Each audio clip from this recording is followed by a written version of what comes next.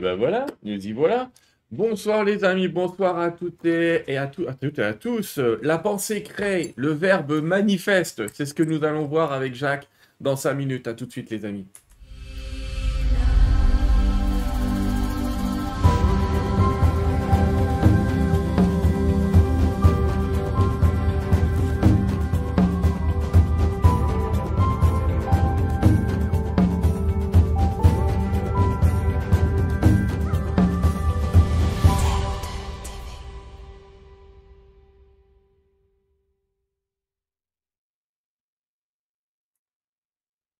Voilà, nous revoilà à nouveau. Très content d'être avec vous ce soir, les amis, euh, sur Terre 2 TV pour une nouvelle émission. Comme d'habitude, j'aime vous remercier sur, euh, sur l'émission précédente avant de démarrer la suivante. La précédente, nous étions avec euh, Patrick Drouot. Et nous allons être ce soir avec quelqu'un qui est aussi une très, très, très grande pointure, mais que vous connaissez comme moi. Bonsoir, Jacques. Bonsoir, bonsoir, Sylvain. Ben bon, bonsoir à toi pour pour nos amis français, puis bonjour pour ceux qui sont au Québec. C'est ce que je te disais tout à l'heure, je t'ai dit bonsoir alors qu'on est au même fuseau horaire, tu vois. Je suis très content de te recevoir à nouveau euh, sur Terre 2 TV euh, pour euh, parler d'un autre sujet que ce qu'on a évoqué la dernière fois. Alors, peut-être qu'avant d'évoquer ce nouveau sujet de, de, ce livre, Le pouvoir des mots qui me libère, et je pense que le sous-titre, on en reparlera, parce que si on regarde que ça, on a déjà une idée. Mais on va reparler euh, du, restant euh, juste après. Je voulais juste rappeler que tu es l'auteur de très nombreux livres. Euh, le Grand Dictionnaire des malaises et maladies, bien sûr. Tu, tu as les éditions. Créateur. créateur de la technique de Manuette. Créateur de la technique. Créateur, ouais. Lucie a écrit le livre et tu as créé la technique. Atma, le pouvoir de l'amour. Euh, il y a tout un tas de séries sur le Reiki. Alors, tu as été gentil parce que tu, me les as envoyés, tes livres. Et figure-toi que je les lis encore. Enfin, je les lis encore. C'est pas que je les relis, c'est que il y en a, il y a plein de choses à prendre. Et tu vois, ils sont, derrière dans la bibliothèque, là. Ils sont pas très loin. Et euh, je trouve que c'est bien ce que tu as fait en Reiki niveau 1, 2, 3. Parce qu'il n'y a pas beaucoup de. Il n'y a, pas beaucoup de livres qui en parlent comme tu en parles là. C'est une petite ben, parenthèse. En, fait, euh, Sylvain, c'est parce que à, chaque niveau, euh, niveau 1, 2, 3 et maîtrise, on, donne, on donne des notes de cours et toujours faire des photocopies, des photocopies, des photocopies. Euh, comme, comme je suis éditeur, je me suis permis de, euh, de, de, faire un livre, quatre couleurs process, mmh, mmh. et pour aider aussi mon ami en France, qui est M. Jean-Jacques Robinet, qui initie beaucoup de gens au Reiki, à la maîtrise aussi. Ça lui sert. Donc, on n'a pas besoin de, de refaire des notes de cours. Alors, il y avait, euh, on avait, on avait parlé un petit peu avec toi aussi, souviens-toi, la dernière fois, des cinq étapes pour parvenir à la guérison. Euh, euh, mais je vous conseille aussi le livre entier qui décrit ces étapes une à une. Et puis, ces livres de conversation, en fait, que tu as reprises, qui sont Conscience, Amour et Guérison. Oui, ça, c'est des, des, conférences audio qui ont été faites surtout à Paris. oui, à Paris. Et puis que j'ai retransmis. et puis, même si c'est des conférences qui datent de 2005 quand même, quand je les ai pris, euh, quand j'ai retravaillé le texte, je, m'étais dit, ben, ah, ben, ça va être facile, c'est juste des transcriptions, donc ce ne sera pas beaucoup de, travail. Et, après, des fois, une heure ou, ou, une heure et demie de vérification de texte, il fallait que je me couche pendant une heure de temps, tellement que j'étais épuisé et je ne comprenais pas parce qu'il n'y avait pas beaucoup de travail. Fait que là, mes amis en haut, ils m'ont dit, oui, mais tu reprends les énergies qu'il y avait en 2005 et tu les remontes jusqu'à 2000, euh, je ne sais pas mm. quand est-ce qu'il est sorti, là, de 2018 euh, ou 2017. J'ai remonté les énergies et même ce que, j'étais surpris des fois, c'est que ce, que ce que je disais en 2005, des fois, je me disais Ah oui, j'ai dit ça en 2005. Ah, mais quand on est en channeling, des fois, je ne me, me rends pas compte que je suis en channeling. Des fois, je le sais, mais des fois, je ne m'en rends pas compte. Donc, quand on est en channeling, il y a plus de chances que la, vérité qui sort est, plus intemporelle. Ouais. Hein, pas, c'était vrai en 2005, c'est plus vrai en 2010, vois-tu, là? Non, non, c'est, l'énergie, ce qui est véhiculé, l'information, elle reste vraie pour longtemps.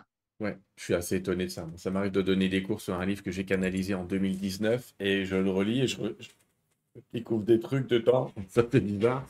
Mais oui, ça arrive souvent avec les. En plus, en fait, dans, les, dans le channeling, de manière générale, Il y a des niveaux de lecture. Donc tu peux le lire à un niveau et quand tu le lis à un, autre niveau, tu comprends encore autre chose.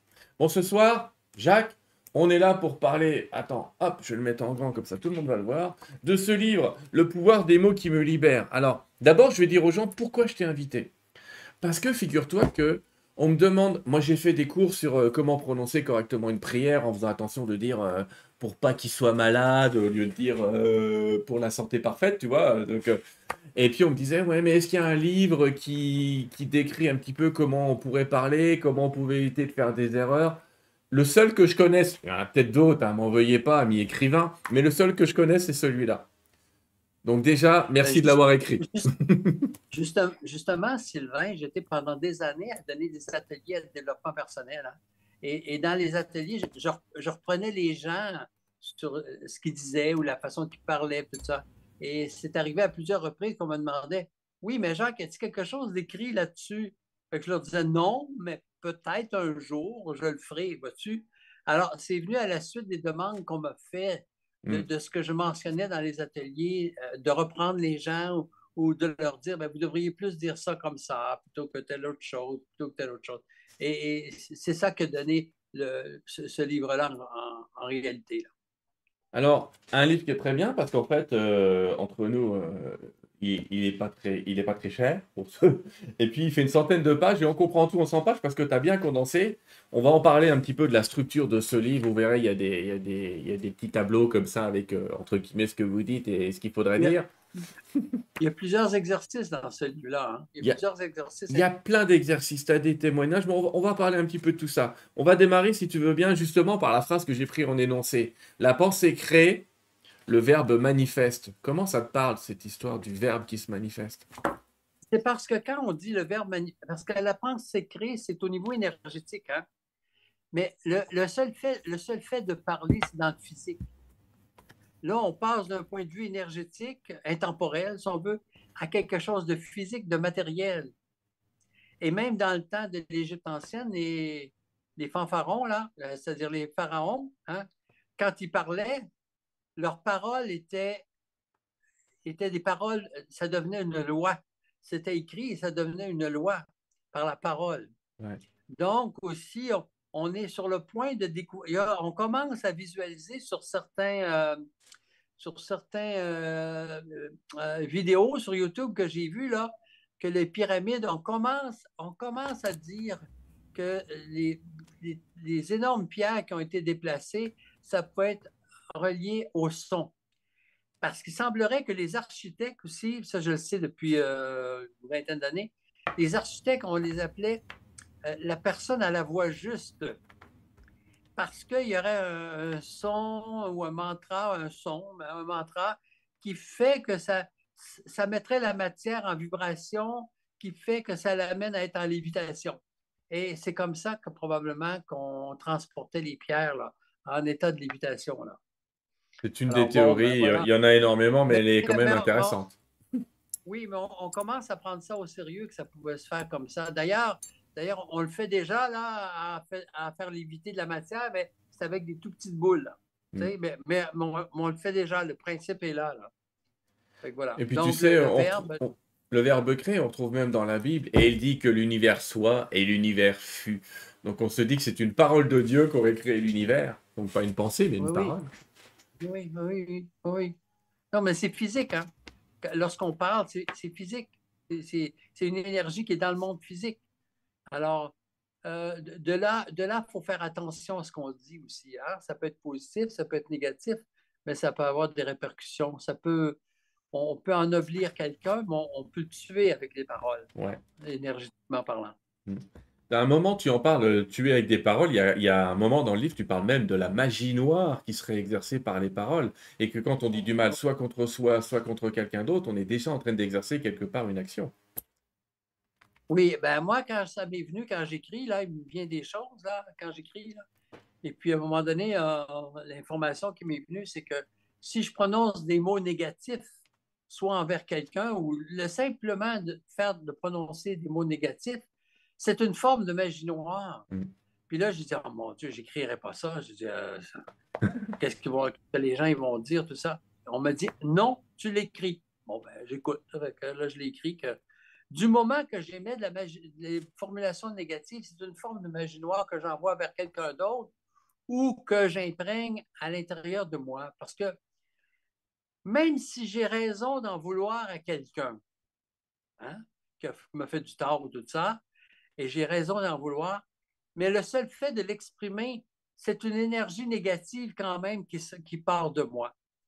Ça ne veut pas dire que je dois nécessairement le louanger, mais euh, je, dois faire attention aux mots que j'utilise, même dans mon appréciation extérieure euh, des gens ou, même des dirigeants, je dirais là. Vois-tu mm. là? Mm. Et il y, a une chose qui est importante, c'est que je ne peux pas dire ou exprimer quelque chose, même si ça a rapport à quelqu'un d'autre, si ça n'existe pas à l'intérieur de moi. Parce que si ça n'existe pas, ça, me sortira, ça me viendra jamais à l'idée. Et puis tu, dis, tu dis aussi qu'en fait, tu ne parles que de toi et qu'on parle que de soi, en fait. C'est ça. En fait, là, moi, je peux écouter quelqu'un qui écoute une, euh, euh, euh, une joute de soccer à la télé et tout ça. Et, la personne, sans s'en rendre compte, elle va me révéler qu'elle est, hein, ce qu'elle est, hein, avec les commentaires que la personne va faire, avec ce qu'elle va dire, avec tout, tout ça. Là. Mais moi, je sais que je ne peux pas exprimer quelque chose qui n'est pas déjà à l'intérieur de moi. Hmm. Alors, même si c'est négatif, même si je peux avoir, me dire, j'ai raison de dire que telle personne, c'est un menteur, que c'est un, violeur, que c'est un ci, que c'est un ça, hein, mais je peux avoir raison, mais le fait de le dire, ça émet une énergie négative. Alors, il faut, faire attention, il faut faire attention. Alors, euh, euh, puis même dans, les, dans les écrits qu'on fait aussi, hein, les paroles, mais dans les écrits qu'on fait, toujours s'efforcer de faire. Moi, c'est une de mes spécialités. Euh, les gens, des, fois, ils ont de la difficulté à communiquer avec. ils ont eu un souci avec le frère ou la, mère, ou bien ils ne se parlent plus, ou, ou ils ne savent pas comment dire telle chose. Hmm. Mais je dis, écrivez-le. Et là, ils l'écrivent, et là, ils me donnent la lettre. Et ils donnent la lettre, et là, j'écris, je réécris tout en formulation positive. Alors, euh, il, y a un exemple, il y a un exemple dans le, dans le livre par rapport à ça. Là. Et euh, quand je dis en formulation positive, au lieu de dire euh, tu m'as manqué, ça, va, ça va être changé par j'avais besoin de toi, vois-tu, ou des choses comme ça. Je, garde le sens que la personne veut, hmm. mais la formulation négative est changée en formulation positive. Après, la lettre peut être donnée à la personne ou ça peut être, je suis en présence de la personne, je peux dire, ben, j'ai quelque chose à te dire et je donne la lettre. Et euh, bon, euh, donc, donc, je risque pas de dire, je risque pas de sentir que l'autre personne, qu'est-ce qu'il va me dire encore? Ça risque de m'affecter, tout ça, puis que la personne mette des barrières, vois-tu?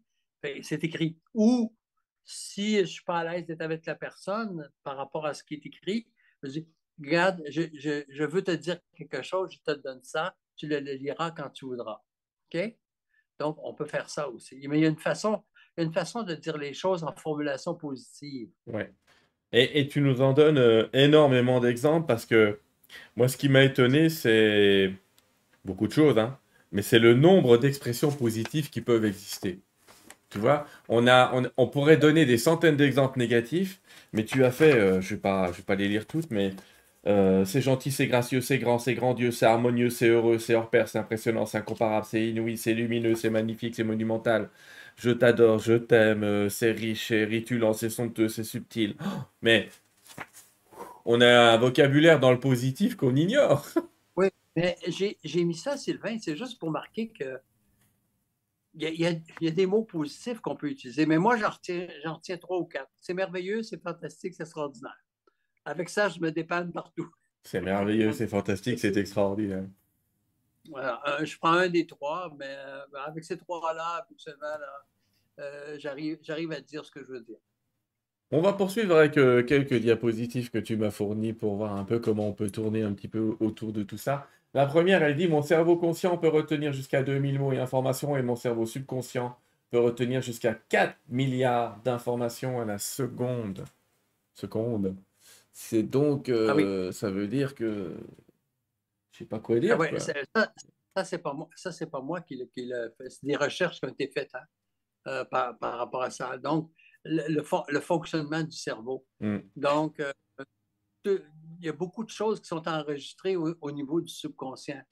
Donc, chaque mot que j'utilise, même consciemment, il y a une partie qui s'en va au niveau du subconscient. Donc, chaque information négative que je pourrais faire, même si je pense que c'est juste de dire telle chose par rapport à telle personne ou par rapport à telle situation ou par rapport à tel truc, là, mais c'est enregistré au niveau de mon subconscient.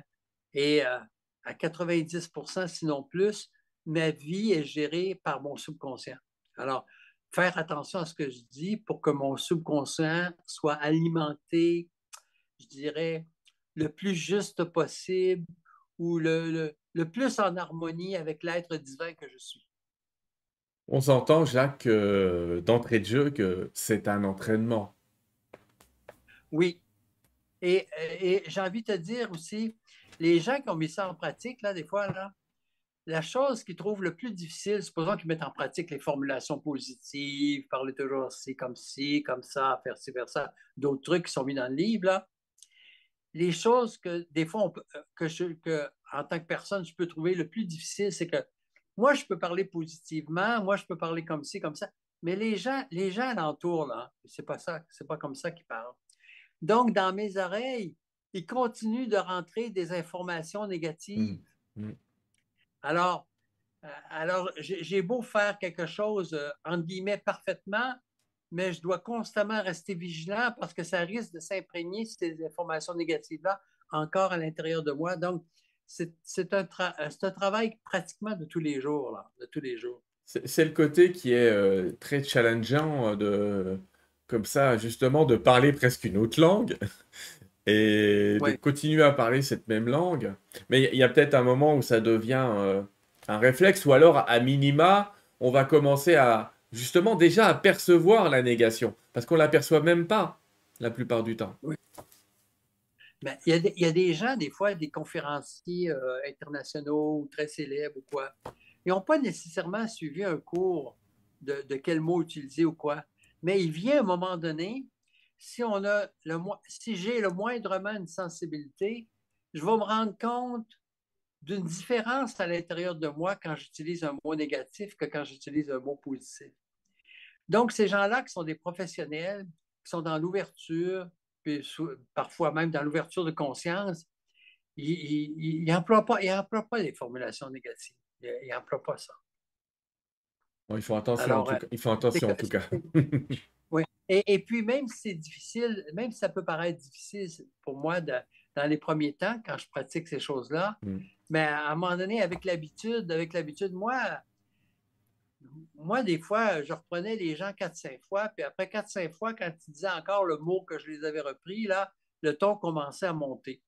Jusqu'à ce que j'aille à une conférence en Californie où euh, un homme de, je ne sais pas s'il avait 20, 29 ans ou quelque chose de genre, mais, à 20 ans, il est devenu millionnaire, euh, ce, gars-là. Et il disait, il disait une phrase que j'ai retenue, ça prend jusqu'à 200 fois pour enlever une formulation négative dans le cerveau.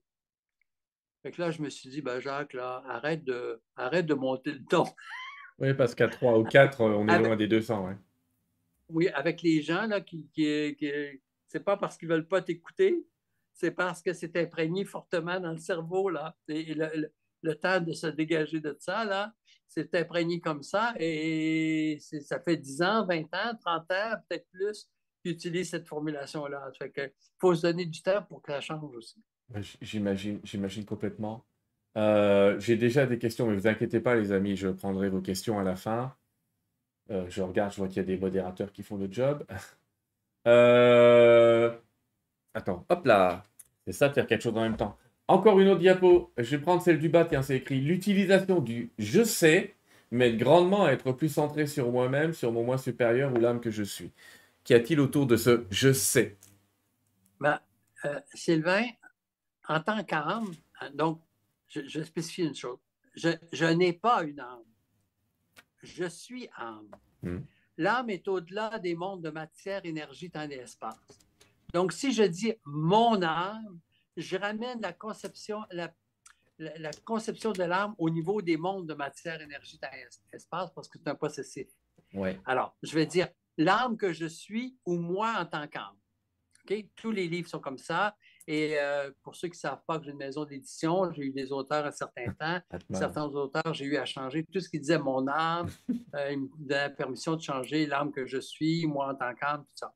Et en tant qu'âme, je peux tout, je suis partout et je sais tout. Alors, puisque je sais tout, je vais, je vais avoir à remplacer euh, je pense, je crois, par je sais, la plupart du temps. Mhm. il y a des gens qui vont dire Oui, mais Jacques, c'est prétentieux, ça, de dire je sais. Ben, là, je donne un exemple.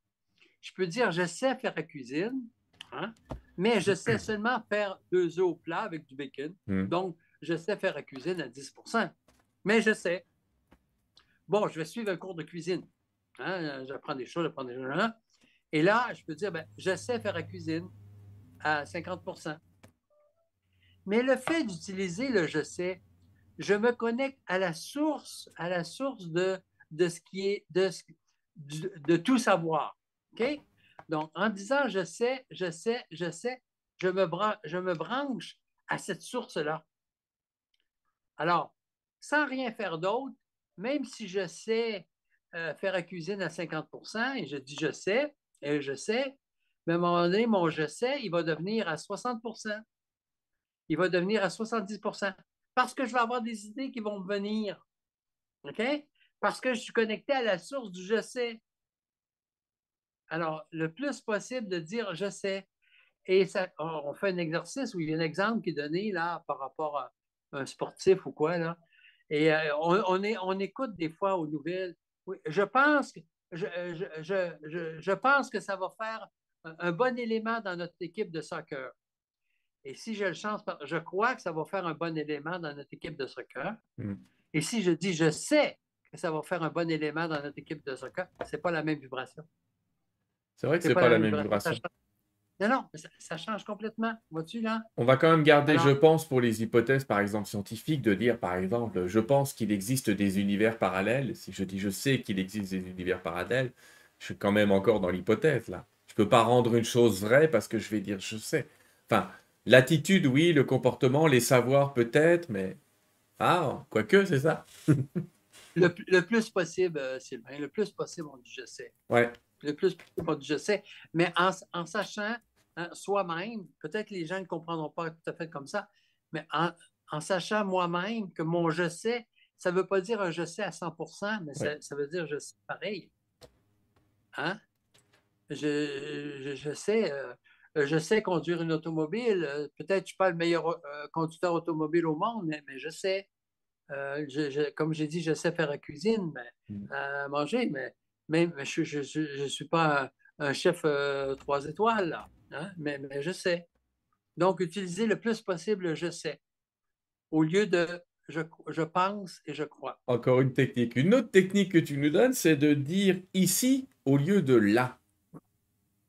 Alors, c'est la même chose. En tant qu'âme, je peux tout, je sais tout et je suis partout.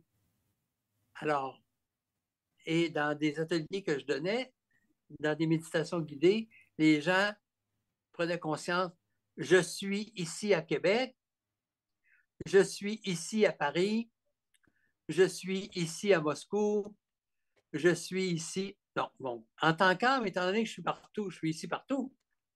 Je suis ici partout. Donc, le plus possible, changer toutes les là par ici. Quand je me mets ici, je me connecte à la partie divine de moi-même qui est dans l'ici et maintenant, qui est partout. Alors, j'ouvre mon mental, j'ouvre mon mental à cette dimension-là de l'être que je suis en tant qu'être divin, d'être partout en même temps. Mais mon corps physique est actuellement, euh, on se parle, est actuellement dans la région de Québec, à l'île d'Orléans. En, en, face de moi, j'ai 10 mètres de fenêtre panoramique qui donne ah. sur le fleuve. Donc, mon corps physique est ici, hein, ici, mais, mais je suis ici à Paris, je suis ici, comme je disais, moi, je ne sais pas, à Rio de Janeiro, je suis ici euh, sur Mars, sur Vénus, je suis en tant qu'âme, je suis partout. C'est bien quand même d'être sur l'île d'Orléans parce que tu as des fraises en ce moment. Bon. bon, c'est pour les, c'est une petite joke pour les gens du Québec. Vous savez qu'il y a des frais sur l'île d'Orléans. Alors, ce qui est, Je te fais beaucoup travailler ce soir, Jacques. Désolé, mais c'est ainsi.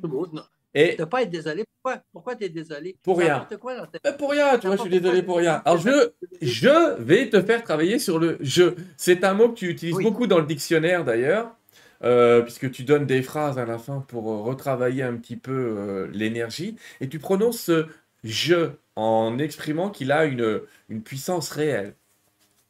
Alors, alors les gens qui, qui nous écoutent, ils vont, vont, se rendre compte que je parle au jeu aussi. Hein? Je parle au jeu. Euh, et, dans les conférences, je, parle au jeu. Euh, je parle toujours au jeu lorsque, lorsque, je, lorsque, lorsque je vis telle situation, euh, ben, c'est parce que je vis telle chose ou je vis tel conflit. Alors, qu'est-ce que je fais si je parle du cancer du sein? Hein? Mm. Ben là, si je parle du cancer du sein, je vais dire, si je suis une femme et que je vais voir mon médecin et qu'il m'apprend que j'ai le cancer du sein, c'est parce que je suis en conflit par rapport à mes enfants ou ce qui représente mes enfants. Donc, tout le monde comprend bien, même si je suis un garçon, ils vont comprendre. Mhm. Les personnes, qu'est-ce qui va arriver? Ils vont entendre je. Il n'y aura, aura, pas, il aura pas vous, quelqu'un, l'animateur qui dit vous, puis vous, ça veut dire je. Puis avec le vous, il y a toujours la possibilité qu'ils disent ça ne me concerne pas, il parle de quelqu'un d'autre. Mais quand je dis je, moi, comme animateur avec euh, le monde, je suis en relation directe avec eux. Je suis en, symbiose. Je, je, moi, je, tout le monde. Et des fois, au bout de dix minutes à peu près, là, je veux dire, alors quand je dis je, je veux dire chacun d'entre nous et je continue la conférence. Pour pas que les gens disent, ils sortent, ils disent Ah oui, mais c'est intéressant ce qu'il disait, mais il parlait, il parlait beaucoup de lui. Hein? il parlait de lui. Mais je ne parle pas de lui, je parle de chacun d'entre nous. je, le dis à peu près aux 10 hmm. minutes. C'est chromatique, là. Je vais juste le mentionner, je le dis aux 10 minutes. Et euh, des fois, j'ai approché des coachs pour euh, leur parler de ça et tout et tout. Mais il y a des coachs qui sont qu'on voit sur Internet qui font des, vidéos, tout ça de présentation, euh, des trucs. Sont extraordinaires, hein, mais souvent, je me dis, ils pourraient faire mieux, puis ils ne savent pas. Des fois, j'ai fait des approches, puis ça n'a pas marché. Moi, là, depuis 80, 98, 98 que j'ai commencé à faire. Euh, ben, ma première conférence, c'était en septembre 78, devant 500 personnes euh, mmh. que, j'ai fait ça. Et lors de ma première conférence que j'ai, que j'ai fait, à un moment donné, j'ai eu comme un moment, un léger moment de réflexion. Et là, la voix, il y a une voix à l'intérieur de moi qui s'est mise à dire Jacques, c'est pas ce qui est important, c'est pas ce que tu dis, c'est ce qui se passe. Tu pourrais passer le, reste de la conférence à ne rien dire et ce qui est important continuera à se passer pareil. Mm-hmm. Alors moi, j'ai arrêté de parler. Et là, au bout de deux, trois secondes, la voix reprend. Oui, mais les gens ont besoin d'entendre quelque chose. Alors, ça a passé dans l'auditoire, c'est comme si juste j'avais eu un moment de réflexion, mais l'information que j'ai eue était très claire. Ce que je disais, j'ai envie de dire ce que je disais, juste les mots que je disais, euh, c'était 10% de l'énergie qui se passait. Et plus tard, j'ai pris conscience que les mots que je disais, une partie de l'énergie qui, venait du cœur et qui sortait de ma bouche et une autre partie d'énergie qui partait du chakra couronne et qui sortait de ma bouche. Et les deux énergies s'en allaient ensemble, en, sortant, en, sortant par les paroles de ma bouche. Et ce qui fait qu'habituellement, il y a des gens qui l'ont remarqué, euh, quand je donne une conférence, mon énergie personnelle a rempli la salle. Ça a un avantage, pas un inconvénient. L'avantage, c'est que bon, ben, les, gens sont plus touchés. Euh, l'inconvénient, c'est que je ressens beaucoup de choses par rapport à toutes les personnes qui sont dans la salle et parfois ça peut m'affecter, mais bon, euh, je veux dire, ça fait partie du métier. voilà, c'est ça. D'accord avec toi. Ça fait partie du job. Euh, et puis, dans le dictionnaire, Sylvain, tous mes livres sont écrits au jeu. Hein. Tous mes livres, c'est écrit au jeu. Mais surtout dans le dictionnaire, quand j'ai présenté mon manuscrit à des, éditeurs, là, il y a 25 ans de ça, mhm. Euh, le dernier à qui je l'ai présenté, il m'a dit non parce qu'il dit, il dit euh, ben, à un moment donné, j'avais mis certains maîtres spirituels ont dit, mais pas ça, on va identifier ça à tel groupement. J'ai enlevé ça. Et euh, à un moment donné aussi, j'avais écrit euh, dans, la, phrase d'acceptation, le dernier paragraphe, oui, ben, j'accepte de recevoir un traitement de Reiki qui peut être bénéfique à m'ouvrir. Jacques, mais pas le mot Reiki. On va identifier le livre Reiki. Bon, OK, on enlève ça. Mais là, le dernier éditeur que je suis allé voir, il a dit, comme réflexion, oui, mais M. Martel, moi et mon collaborateur, on n'est pas à l'aise avec le fait que c'est écrit au jeu. Mais là, on parle d'il y a 25 ans, là, vois-tu? Alors, il a refusé le manuscrit. Et des années après, je l'ai rencontré parce que j'avais des amis qui avaient un livre dans cette maison d'édition-là, et des Françaises qui, avaient, un livre, et je les ai voyagés jusqu'à lui. Il m'a dit, vous savez, M. Martel, il dit, on a fait une erreur. Il dit, même ma femme a votre livre sur sa table de chevet. Ben, j'ai dit, Monsieur Saint-Pierre, je dis merci à la personne qui m'a dit non, parce que ça m'a permis de, de partir ma maison d'édition. Ah oui.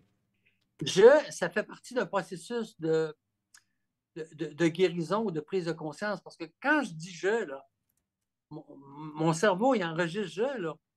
C'est pas vous. Lorsque vous avez de l'acné, c'est parce que vous vivez de la frustration par rapport à des situations que vous n'acceptez pas. Non, non.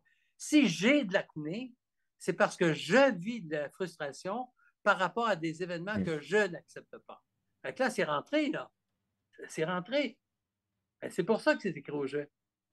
Ça fait partie d'un processus de guérison, de prise de conscience du cerveau et du fonctionnement du cerveau que changer le surstress psychologique en un stress biologique sous forme de maladie pour libérer mon cerveau de 99% du stress dans une optique de survie d'espèce. Donc, c'est déjà c'est déjà dans un processus de guérison d'avoir écrit le dictionnaire aux jeunes. Alors, stress, survie de l'espèce et tout ça, euh, en fait, tu me fais penser à une autre diapo qui est celle de la peur, qui est un des grands phénomènes un peu négatifs de notre vie. La peur de mourir, la peur de la critique, la peur de vivre, la peur de la maladie. Moi, je pourrais t'en sortir 300, la peur de manquer, la peur de ne pas y arriver, la peur... Euh, qu'est-ce qu'on fait tout ça? Ces six peurs-là qui apparaissent, qui viennent d'apparaître, là, ces six peurs-là, ils proviennent, ils proviennent de, d'un livre euh, de Napoléon Hill dans son livre Les lois du succès. C'est les six peurs fondamentales. Et j'ai déjà fait un atelier à un moment donné, je disais aux gens dans, dans la salle, c'est un petit atelier, mais décrivez-moi les peurs que vous avez. Là, je marque, je ça au tableau, je marque au tableau, au tableau, au tableau, au tableau. Et à la fin, j'ai pu, j'ai pu rassembler les peurs, certaines peurs, et toutes les ramener à l'une ou l'autre de ces peurs-là. Mm-hmm. Et qu'est-ce qui est intéressant dans ces peurs-là? Hein? On, les, plus ou moins, on les a tous. Mais l'exercice qui est proposé, je ne sais pas si je le propose dans le livre, c'est, par exemple, la peur de mourir. Quel pourcentage je pourrais mettre là-dessus? Peut-être je pourrais mettre 60% hein? La peur de la... Le deuxième, la, la, peur de la critique? La critique. Ah, la, peur, la peur de la critique, moi, j'aurais pu mettre un 80 vois-tu? Ainsi de suite, ainsi de suite. La maladie, je fais ça. Je fais, je fais ça aujourd'hui. Et euh, dans les mois qui suivent, je fais d'autres lectures en développement personnel, je vais voir des conférences, ça se peut que je vive des ateliers, euh, je fais des prises de conscience et tout et tout. Et je reprends ma feuille et peut-être la peur de la critique est maintenant rendue à 55. La peur de mourir qui était 60 ben, est rendue à 45. Vois-tu là? Oui. Parce que j'ai guéri des blessures, parce que toutes les peurs, ils proviennent d'un d'une blessure. Une blessure que j'ai eue par rapport à certaines situations qui a fait que ça a déclenché une peur. Hein? Donc, j'ai peur aussi que ça se reproduise. Et qu'est-ce qui arrive quand chacune des peurs est à zéro? C'est ça qui est intéressant. Ben, par exemple, les gens qui vivent des expériences en dehors du corps, des expériences de mort imminente, EMI, hein? EMI en, français, puis euh, Near Death Experience, NDE en anglais. Alors, les, gens qui vivent des expériences euh, de mort imminente, ben, eux autres, la peur de mourir, là, c'est zéro. Hein? Hein? Fait que, bon, euh, voilà, on peut, on peut pas, ils ont vécu. ça ne veut pas dire que ça veut pas dire qu'ils sont suicidaires, qu'ils veulent s'en aller tout de suite, mais ils savent ce que c'est. Donc, ça fait une des six peurs qui est partie, un sur six, à zéro. Ça peut transformer une vie, ça. OK? Puis quelqu'un qui gagne le million, ben, la peur de la pauvreté, ben, c'est plus là. Ben, c'est plus là. C'est que ça fait un deuxième. OK? Donc, quand toutes les peurs sont à zéro, je suis rendu à ce que j'appelle la réalisation de soi. Parce que je peux faire ce que je veux, quand je veux, comme je veux, de la façon que je veux. Oui, mais Jacques, il faut bien que je travaille, j'ai un loyer à payer. Oui, mais je le fais parce que je veux bien. C'est plus des obligations. Hmm. Vois-tu? Quand tout est à zéro, quand tout est à zéro. Donc, je pourrais dire, je l'explique dans une vidéo que j'ai faite euh, il y a quelques mois qui s'appelle sur la, réalisation de soi. Quand toutes mes peurs sont à zéro, j'atteins la réalisation de soi parce que je suis libre de toutes mes peurs. C'est une de ces six peurs-là, de ces six peurs-là qui, qui, euh, euh, qui orientent ma vie. D'accord. Inconsciemment, mais c'est présent. Alors, j'ai juste à regarder quel pourcentage de quelle peur qui, est là, là. Qu'est-ce qui me fait agir de telle telle façon? Peut-être que j'ai peur d'être critiqué, donc je ne suis pas moi-même, je me fais une image, je fais ci, je fais ça. Euh, ainsi de suite. Voilà. Ah, merci de cet exercice, il n'est pas dans le livre. Mais comme on est dans le, les exercices des mots, euh, Jacques, euh, par quoi est-ce qu'on peut remplacer j'ai peur de quand on parle? Comment est-ce qu'on va corriger, par exemple, euh, j'ai peur de mourir eh ben, euh, J'ai envie de ben, vivre. Oui, ben, j'ai envie de vivre, je fais confiance à la vie. Voilà, c'est tout. Parce que c'est ça, hein, renverser. Euh, j'ai peur de la pauvreté, je, bénis l'abondance. Qui... je pars en vacances et j'ai peur qu'il m'arrive un accident. Ben, je mm. dis, je pars en vacances en toute sécurité, tout va bien aller. Je suis encore dans la réalité quand je dis ça. Là. Je ne suis mm. pas dans un autre monde à fabuler ou quoi. Non, non. Je dis, je pars en vacances, euh, je vais être en toute sécurité et tout va bien aller. Je suis d'accord. Euh, ça va pas. Dire, au lieu de dire, ben, je ne voudrais pas qu'il m'arrive un accident. Ben là, je voudrais pas qu'il m'arrive un accident. Il y a le mot accident là-dedans et mm. tout, tout. Là. Il y, a ben, il y a beaucoup d'exemples pour changer les formulations négatives. Alors, il y en a énormément dans le livre, c'est pour ça qu'on ne va pas toutes les faire. Euh, c'est pour ça que je m'intéresse plus à des mots particuliers ce soir, à des jeux, à des nous. Et je vais continuer avec deux mots. Toujours, oui. jamais. Ah, c'est deux mots auxquels il faut faire très attention. Parce que toujours ou jamais, ça implique l'éternité. Hein. Alors, quand, si je dis, ben, je suis toujours en retard, ben écoute, euh, je viens de programmer que je vais être toujours en retard. que ton vœu soit exaucé. Ouais. Je, peux, dire que je suis souvent en retard, mais toujours en retard. Toujours. Ben, mais je peux l'utiliser de façon positive. Hmm. Hein? Ah, les, mots, les mots toujours et jamais. Euh, je serai toujours protégé, quoi qu'il arrive. Hein? Et euh, jamais, ben, je ne sais pas, moi, jamais je manquerai de quoi que ce soit. Euh, jamais je manquerai de, de, rien ou quoi, là. Mais toujours faire attention à toujours et jamais. Dans quel contexte que j'utilise. Mhm. Parce que sinon, ça fait, ça fait une programmation pour l'éternité. Et ça devient beaucoup plus difficile à changer à ce moment-là. OK. Je vais repasser. Mais, Tu peux dire, je serai toujours guidé à rencontrer les bonnes personnes. Bah, absolument. absolument. je J'aurai toujours, toujours l'argent nécessaire dont j'ai besoin pour vivre. Euh, bon, ça peut arriver juste, mais si, si, si, j'ai ce qu'il faut, ouais. je trouverai toujours une solution pour euh, faire tel truc ou tel truc. Euh, voilà. Certains te diraient, Jacques, certains te diraient, oui, mais est-ce que vous ne pensez pas que vous êtes dans le déni en prononçant ces mots? Finalement, vous êtes pauvre et vous êtes dans le déni en disant que vous êtes riche. Non, je n'ai pas dit que j'étais riche. J'ai dit que je trouverai toujours l'argent nécessaire. Ben, je peux dire que je suis riche. Il y a, c'est quoi dans. Euh, il y a quelqu'un, euh, je ne sais pas c'est quoi l'histoire. On, était prêt à y couper un bras, puis ça valait combien? On y coupe un bras ou on y donne 5 euh, millions? il, garde, son bras, hein, donc son bras vaut 5 millions. Hein. Mm. Euh, c'est juste ça. En, potentiel, je, suis une personne qui est riche. Moi, moi je suis un SDF maintenant, hein, vous savez. Hein? Les, gens, je leur dis en conférence, je suis un SDF, sans difficulté financière. Ouais. ça peut être ça. C'est le, bon côté de la force, ouais. non, mais on, ben oui, mais on dit, on dit les pensées positives, tout ça. Je ne suis pas dans le déni. mais c'est intéressant ce que tu mentionnes, euh, Sylvain, parce que quand on change des formulations négatives en formulations positives, ça, reste la réalité. Euh, si, si, je dis j'ai peur d'avoir un accident, je dis ben, je fais confiance, tout va bien aller, je ne suis pas dans le déni, là. Je fais juste me programmer positivement. Ça se peut qu'il m'arrive aussi un accident, mais bon, euh, peut-être que je vais juste me fouler une cheville au lieu de me casser le bras parce que j'ai dit ça de façon positive ou je vais éviter quelque chose qui aurait pu arriver puis ça n'arrivera pas. Je ne suis pas dans le déni dans ces formulations-là.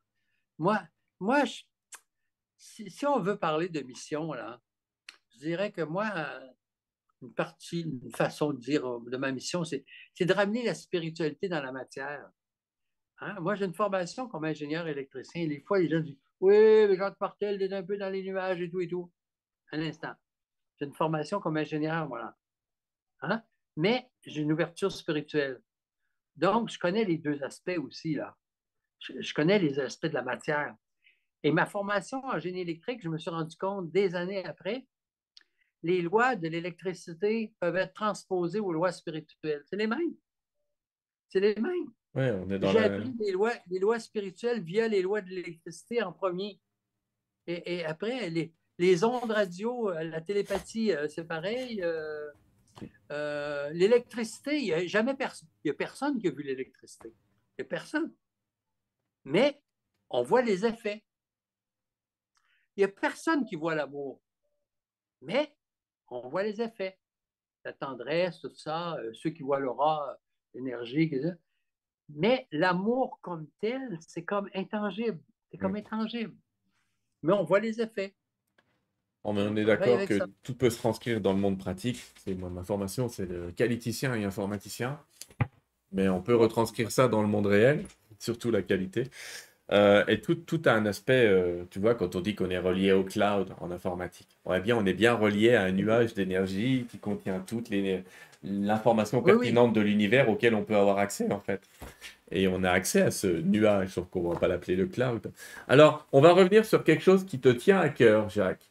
Parce que tu en parles à chaque fois en disant que tout le monde l'oublie et t'as pas tort. C'est la prononciation monosyllabique. Et effectivement, que ce ah. soit dans le dictionnaire ou que ce soit ici, tu reviens encore de dire Hé, je vous ai donné une technique, les gars. faut la faire. Tu peux nous en reparler? Alors, depuis, depuis la sortie de la première édition du Grand Dictionnaire des malaises et maladies, en, le 1er avril 1998, Mm. Cette technique-là est expliquée au début du livre. Il s'agit de prononcer la maladie s'il, la, b, par, s'il, la, b. Donc, de prendre une seconde par syllabe. Et quand je prends une seconde par syllabe, s'il y a des émotions qui sont rattachées à ça, hein, il y a une émotion qui peut monter, dans une optique de libération et dans une optique de libération et peut-être dans une optique de guérison aussi. L'émotion monte, ça libère et l'énergie de guérison, l'amour redescend au niveau du cœur pour qu'il y ait une guérison qui se fasse. Alors ça, c'est extrêmement puissant et je peux l'appliquer à bien des domaines. Par exemple, par exemple, une prière que que j'apprécie particulièrement, je ne sais pas trop quelle prière, des fois, des fois, je prends je vous, je vous salue Marie, mais mhm. excusez, il y a des gens qui ne seront pas catholiques ou quoi. C'est pas grave, on les garde quand même. oui, je prends salut Marie, je vous salue Marie, pleine de grâce, le Seigneur est à avec vous. Tu vois, ça me travaille beaucoup au niveau du chakra du cœur quand, je fais ça. Je, rentre en contact avec une réalité. Alors, on peut faire ça avec une prière, mais supposons que j'ai une chanson, là, je prenais habituellement une chanson d'Edith Piaf, là, Exodus, je ne sais pas trop quoi, là, euh, ou une autre chanson. Supposons que la chanson que je trouve le, qui, me satisfait le plus ou que j'aime le plus, je la fais en monosyllabique. Mmh. Alors, cette chanson-là, ben, je vais aller chercher l'essence même de ce qu'il y a dans la chanson. Ouais. Et puis, et puis, dans l'atelier que je donne, euh, que je vais donner, c'est quand? C'est en février? En février prochain. Là, on est, on est actuellement en juin 2013. Euh, mais en février 2014, je vais donner un atelier Retrouver l'enfant soi. On fait quatre types d'exercices 0, 0, 9 mois, 9 mois, 3 ans, 3 ans, 6, 6, 12. Et dans chacun des, étapes, euh, l'adulte s'appelle le grand, donc le grand Jacques. Il va écrire au petit Jacques, qui est l'enfant et il va, écrire une lettre, OK, par écrit. Et dans l'atelier, on lit la lettre en monosyllabique. Et euh, souvent, souvent, dans ce qui a été écrit, les personnes, des fois, il y a des, des, passages où ils vont vivre passablement d'émotion et ils vont dire Jamais j'aurais pensé que ce que j'ai écrit, il y avait de l'émotion qui se serait présentée à cette phrase-là. Vois-tu? Donc, une libération qui se fait parce qu'il y a une émotion qui se fait. Si je lis trop vite, c'est comme s'il y avait euh, euh, une bille qui tourne, puis un petit fossé pour que l'émotion, là. Mais si je lis trop vite, ça passe par-dessus, par-dessus, puis je passe par-dessus l'émotion. Alors, une seconde. S'il faut, là, mettre un métronome ou toujours faire, euh, la, la, c'est la, C'est une technique de guérison. Donc, une maladie que j'ai, que j'ai eu peur d'avoir ou que j'ai déjà eue, mmh. je suggère de faire la technique monosyllabique. Et ceux qui trouvent que c'est trop long, ils penseront que quand ils vont, quand ils vont à l'urgence, euh, ils attendent combien d'heures? Il y a quelqu'un qui m'a dit que ça pouvait aller de 6 à 7 heures quand on attend l'urgence. Ben, regardez, là, ça ne coûte rien, ça coûte juste du temps. Mmh. Donc, euh, faites l'exercice. Faites l'exercice, c'est ça, va plus vite en France qu'au Québec pour tout dire, les urgences, mais on aura quand même le temps de prononcer les choses. Moi, j'ai envie de te demander, mais d'où elle vient cette technique? Qu'est-ce qui, d'où c'est sorti que tu l'as lu quelque part? C'est tombé dessus? C'est quoi? Non, non, non. Moi, moi, moi, moi, écoute, Sylvain, ça m'est venu comme ça, mais on, me dit, je sais pas trop qui, je, ne sais pas. que, des gens qui l'enseignaient aussi, je sais pas qui, ah. quel groupe, euh, comment que ça s'appelle ou quoi. Euh, hmm que ça existait. Euh, bon, que ça existait, mais, mais si on peut capter des choses qui existent. C'est arrivé des fois qu'il y, a des inventions en Europe puis en Amérique, deux inventeurs qui ont inventé la même chose en même temps, mais c'est pas parce qu'on communiquait ensemble. C'est comme c'était comme dans l'air. C'est le cas de la pénicilline, par exemple, qui a été inventée à trois endroits en même temps. OK. Donc, donc tu vois, moi, moi, moi je n'ai pas appris ça quelque part. Hmm. Ça m'est venu intérieurement comme ça, de le faire syllabe par syllabe, en prenant une seconde par syllabe.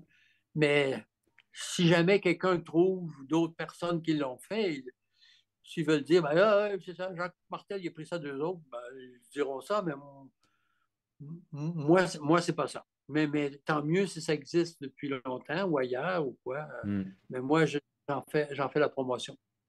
Alors, je vais me permettre de lire euh, quelques exemples de ton livre euh, pour euh, montrer un petit peu le, processus de compréhension des mots et des phrases.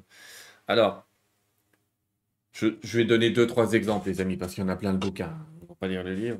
Mais par exemple, expression négative, c'est je suis mort de rire et tordu de rire. Alors, comme ça, premier abord, on pourrait se dire ce n'est pas une expression négative.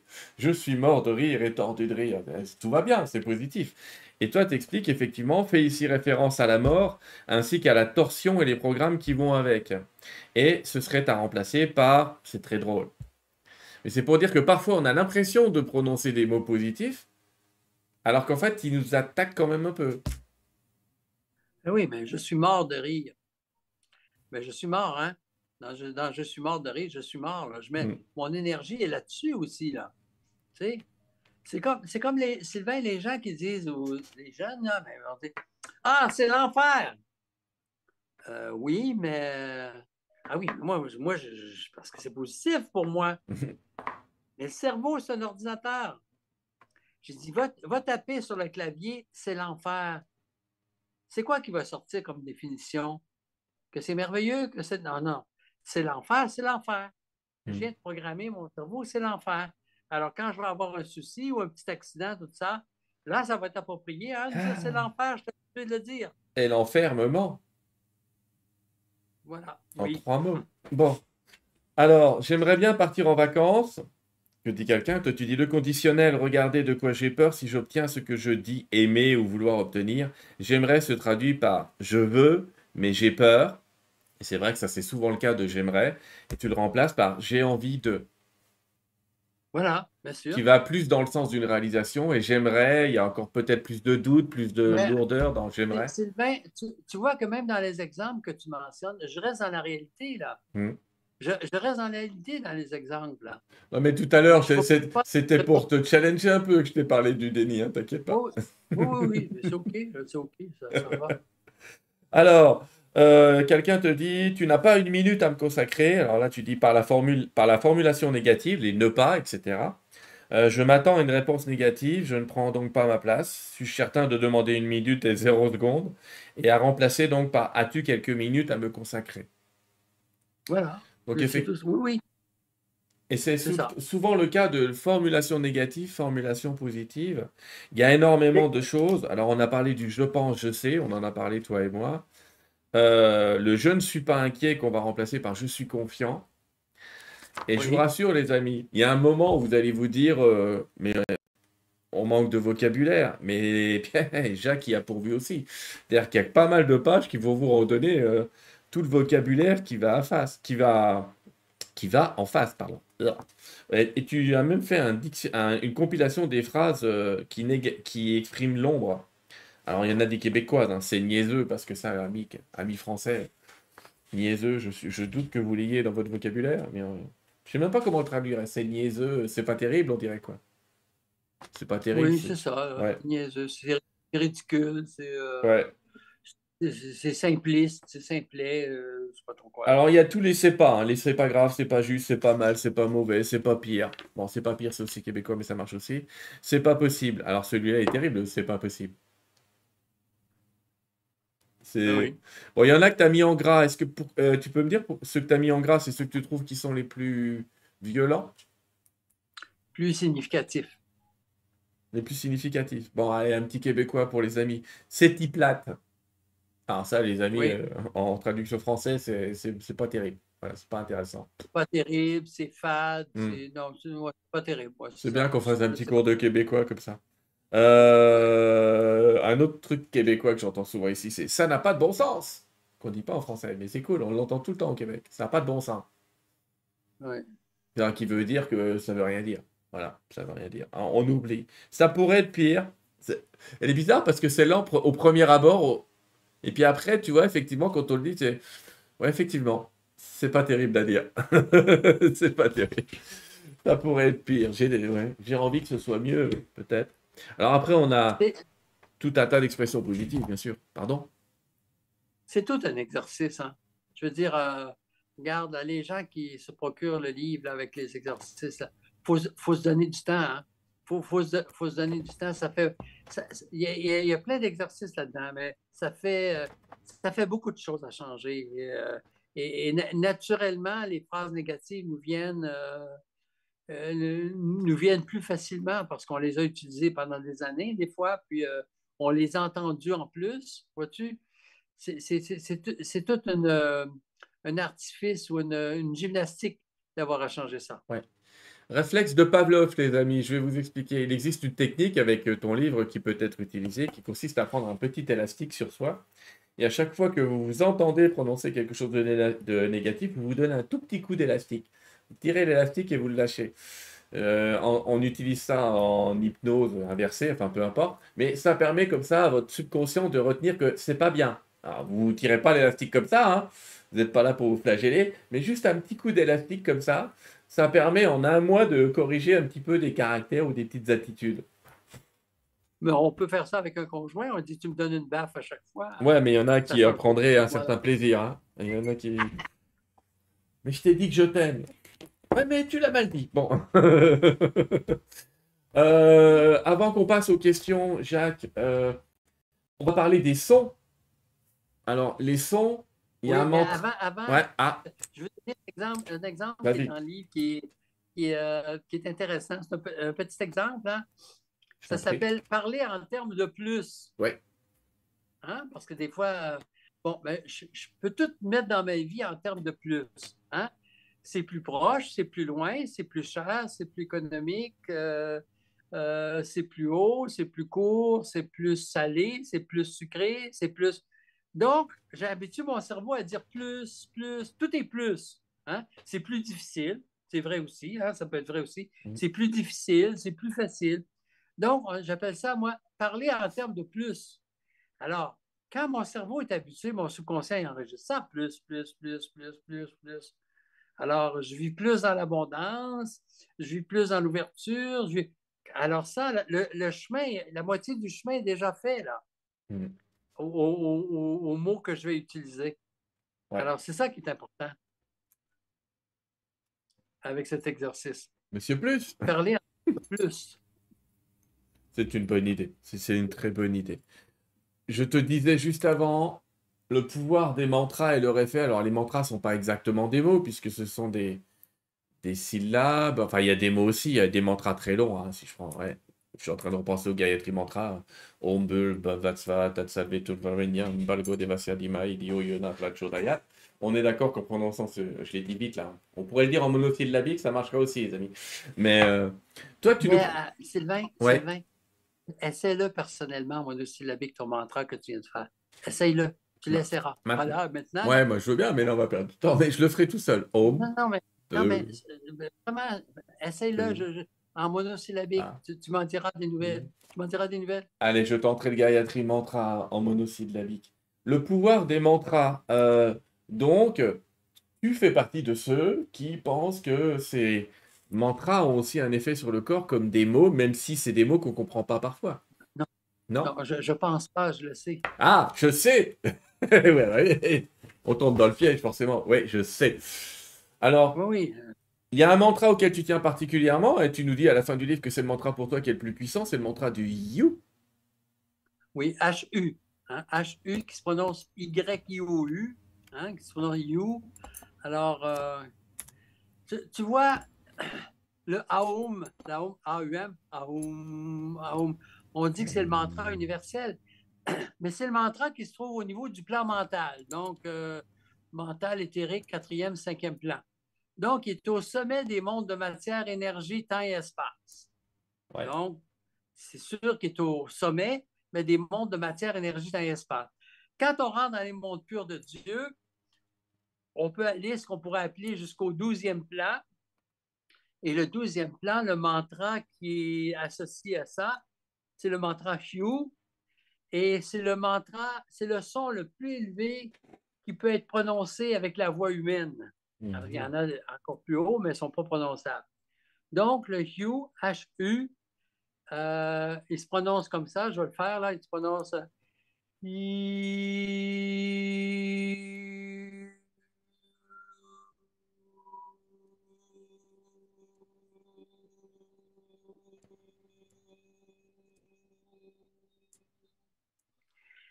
Et je tiens à dire que les mantras n'appartiennent à aucune religion. Le Aum n'appartient pas aux bouddhistes non plus, là. Hmm. même si eux autres, ils l'utilisent beaucoup. Euh, il n'appartient pas aux bouddhistes. Et le You n'appartient pas à, un groupe spirituel en particulier, même si un groupe spirituel euh, aux États-Unis qui en font beaucoup la publicité aussi, euh, ça ne leur appartient pas. Un mantra, c'est un mantra, c'est un son. Il n'y a, pas de copyright sur les, il a pas de copyright sur les mantras non plus. Là. Ça va être dur. Donc, et, et, et sur chacun de mes livres, euh, Sylvain, je tiens à dire, euh, des fois, on le voit sur le dictionnaire, ça dépend, ça dépend de l'imprimerie qui a eu lieu, mais sur toutes les pages de mon livre, non, on les voit pas, on les voit juste sur le dictionnaire. Il y a le mot you sur chaque page. Ah. Pour élever, pour élever le taux vibratoire du livre. OK? Donc, le you, il appartient pas à aucune religion. C'est comme. Euh, c'est comme universel, c'est comme universel, c'est tout. Euh, bon, en tout cas, merci, de nous l'offrir. Ah. Alors, pas grave. Il doit être là-bas, Il est là-bas. Ah, il est là-bas, oui. il n'est pas caché là-bas. Jacques, les mantras, les mots à prononcer, euh, tout, toute cette euh, libération que ça va apporter aussi. On le sait, les amis, je vous l'ai dit, ça va prendre du temps. En criant lapin, ça va être un peu dur, comme on dit. Ça veut dire que ça va vous prendre un peu d'énergie. Ce qui est intéressant dans le livre que j'aime aussi, j'ai oublié de te le dire, euh, c'est qu'il peut. En fait, euh, les chapitres peuvent se lire dans l'ordre qu'on veut. On n'est pas obligé de le lire dans l'ordre conventionnel. On peut très bien revenir au tableau, passer à la fin. Donc pour... et, puis, Sylvain, ce qu'on peut faire avec le livre, une fois, grosso modo, qu'on a passé au travers, donc mon cerveau a enregistré tout ce qu'il y avait dans le livre. Je suggère aux gens de lire juste les paragraphes là, en couleur. Les gros blocs. Oui, juste les gros blocs, là. Et, c'est comme si, oui, voilà. C'est comme si, c'est tout, c'est toutes les, choses qui sont importantes. C'est comme si je relis le livre au complet. Je n'ai pas besoin de passer au travers de toutes les pages. Je lis juste les blocs comme ça. Et ça fait un rappel très important. Oui, il y en a. Euh, oui, oui, oui, oui, Bon, si on lit les blocs, euh, vous aurez fini vite, mais lisez-le quand même, hein, faut le lire. Est-ce oui, oui, mais une fois, une fois qu'il est lu, si je veux faire un, en anglais, on dit refresh, mais un rafraîchissement de l'information, hmm. je peux, je peux m'en tenir juste au bloc. juste au bloc, ça va être suffisant.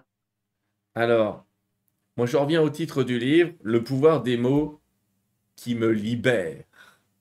Oui, mais aussi, euh, il y, a une diapo que tu n'as pas passée qui ah. dit que 99% des mots qu'on utilise ont rapport à notre énergie spirituelle. Je l'ai passé pendant que tu parlais, mais c'est pas grave. ah, OK, OK. Mais 99% ça veut dire que, vois-tu, euh, c'est pour ça que quand je disais au début, il faut faire attention aux mots que je peux utiliser, même si je fais un commentaire négatif par rapport à quelqu'un ou une situation qui peut sembler euh, réelle hein, dans le physique, c'est réel que telle personne a fait telle gaffe ou je ne sais pas quoi, là mais c'est une énergie négative que j'aimais. Hein. Alors, euh, euh, bon, je ne sais pas, moi, je sais pas, moi, si on parle, si on parle du président français, on pourrait dire, ben, il y, a, avantage, il y, a, y aura avantage d'avoir plus d'ouverture. Ouais. tu là? Ouais. Au lieu de dire, euh, au lieu de dire un commentaire négatif, là, que je ne dirais pas, là. Moi, je dirais que sa marge de progrès est assez incroyable. Ouais.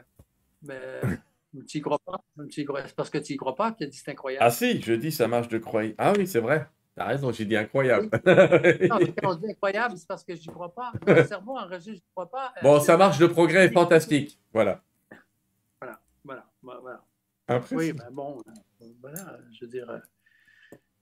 Euh, Et il a de la chance car il n'est pas le seul. Ah, si, tu vois, il n'est pas. On a recommencé avec les il n'est pas. Ah, c'est tout, tout, un exercice. Euh, à noter que ça fait partie d'un des cinq best-sellers de ma maison d'édition, Le pouvoir des mots. Hein. Euh, euh, mais des fois, je suis surpris, les, ventes qui ont, euh, par rapport à ça. Je ne m'attendais pas à ça quand je l'ai écrit. Mais il semblerait que ça réponde à un besoin vraiment important de, la population. Ouais, mais comme je te l'ai dit, il n'y a pas beaucoup de livres qui parlent de ça, qui parlent de cet agencement des phrases. Et c'est pour ça, ça répond, il répond vraiment à ton livre répond à un besoin. Il n'existe pas.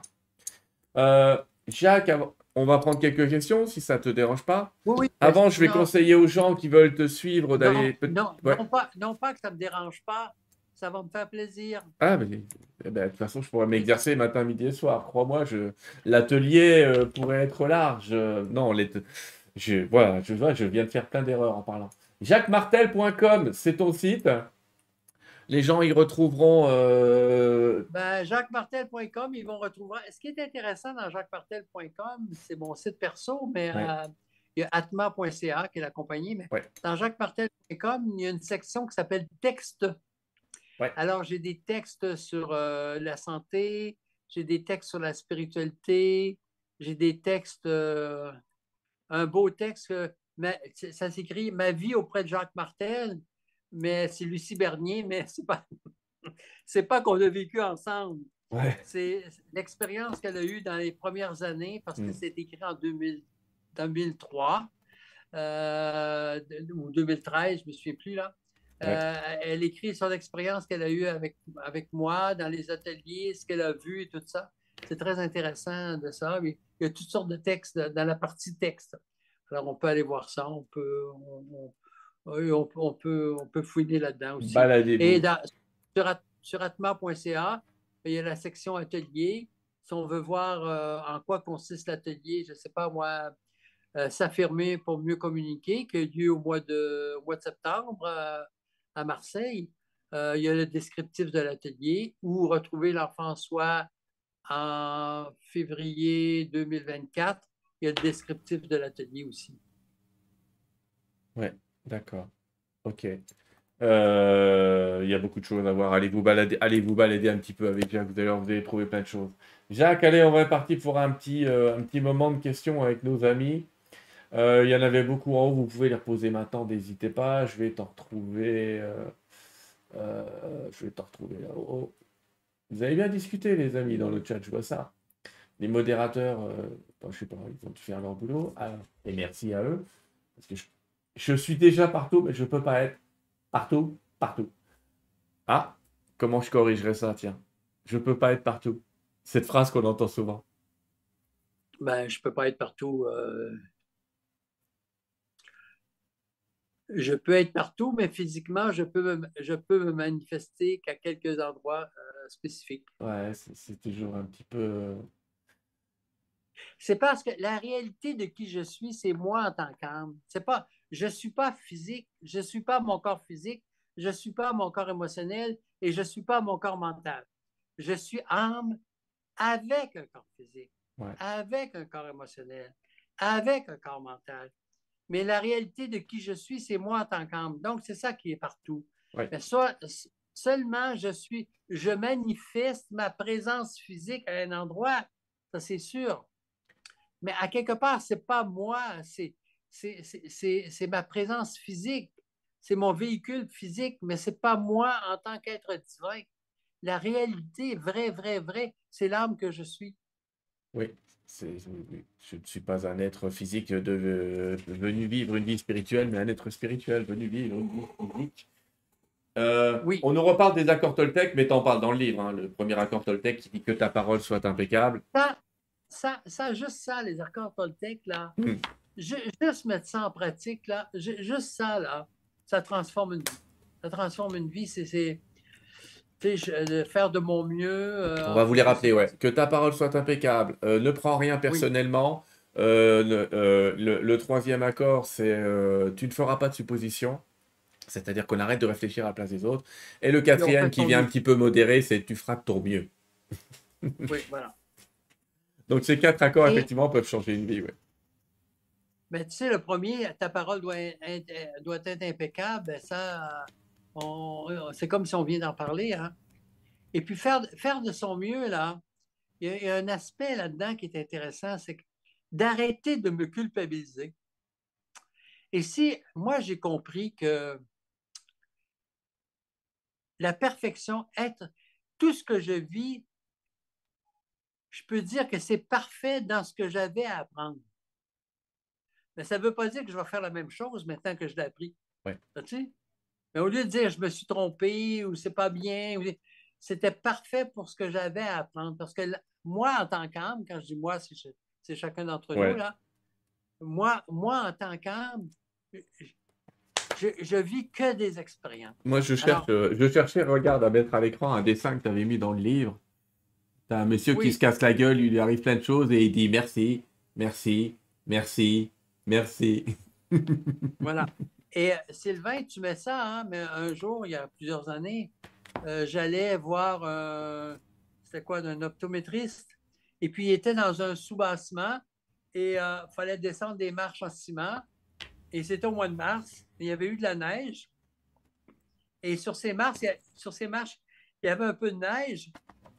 Et, dans, le coin de la marche, il, y avait, il, y avait, un peu de tiron, mais tu sais, des fois, c'est de la neige, c'est accumulé, c'est tout.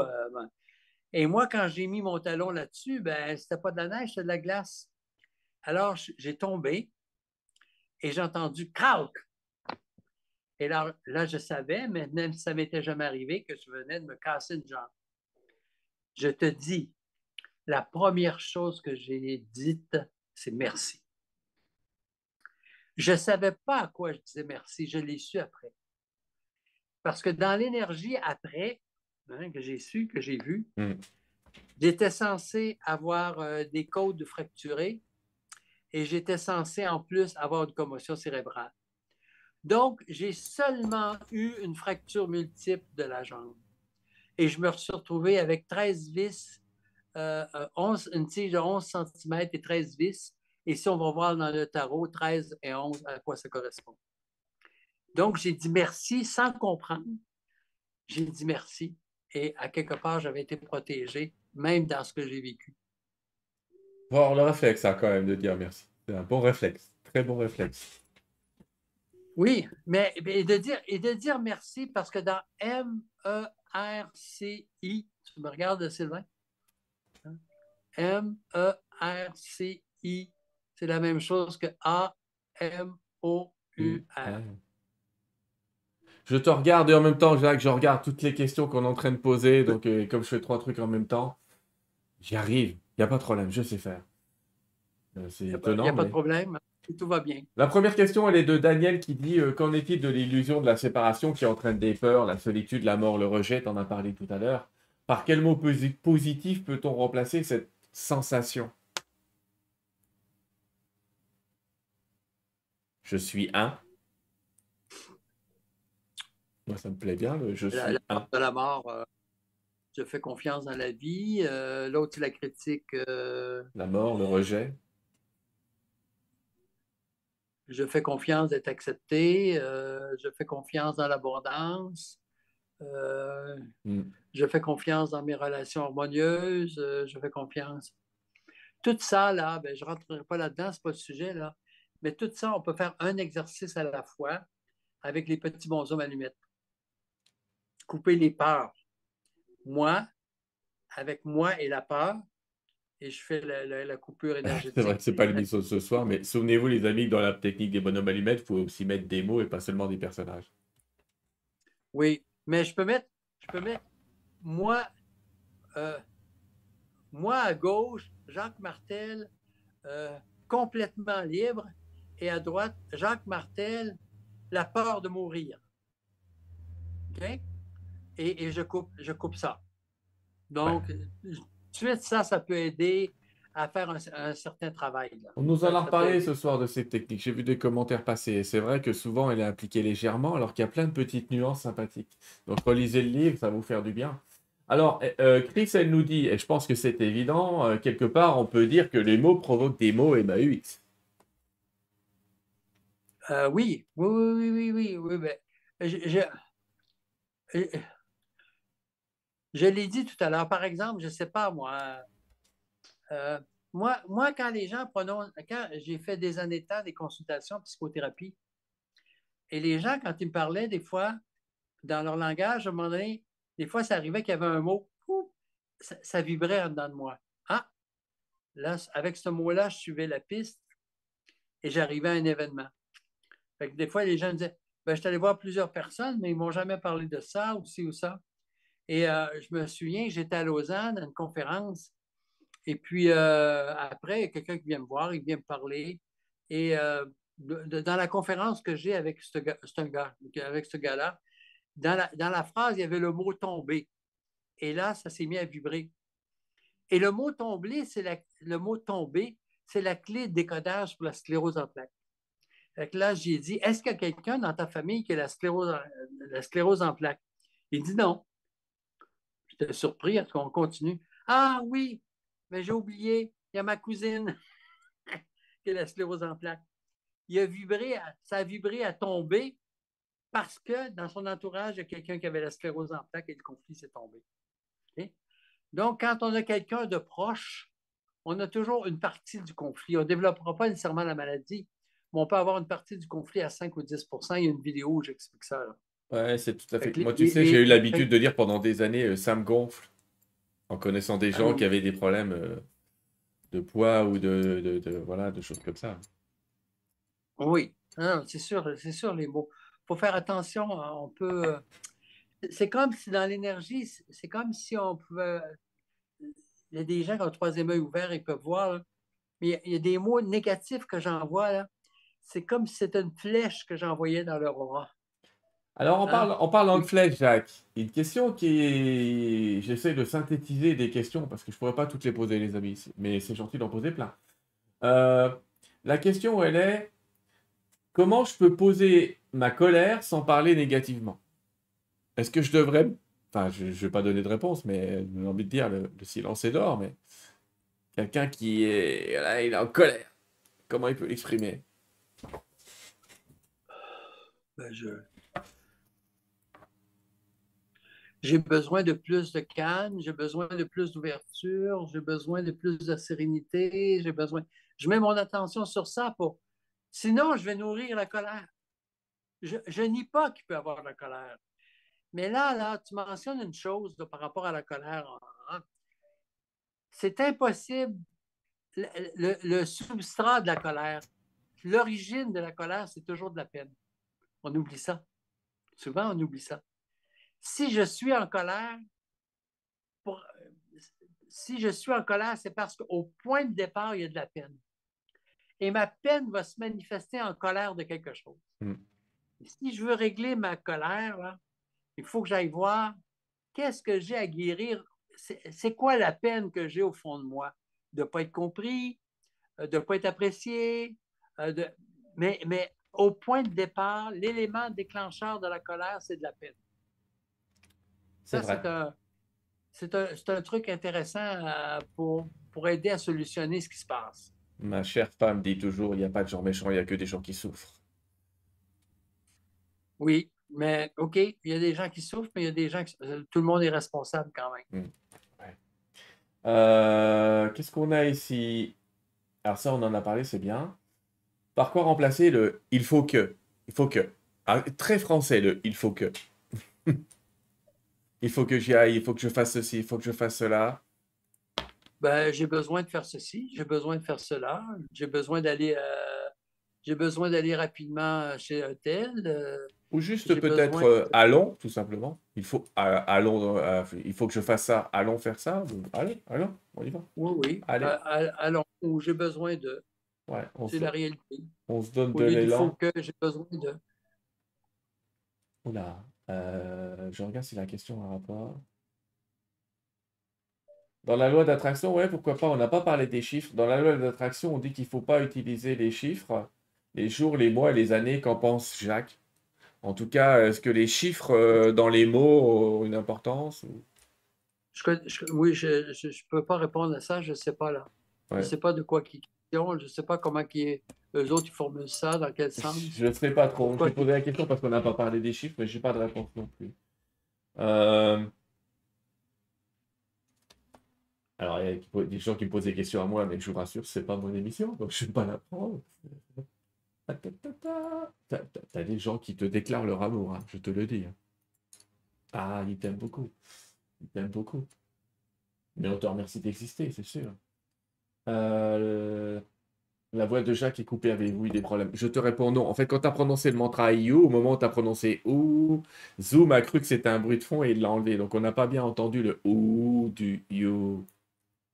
Mais c'était pas. il l'a enlevé? Ouais, il l'a enlevé. Parce qu'en fait, tu sais que Zoom enlève les bruits de fond. Et quand tu as dit You jusqu'à O, ça a été quand tu as dit OU. En fait, Zoom, il a coupé.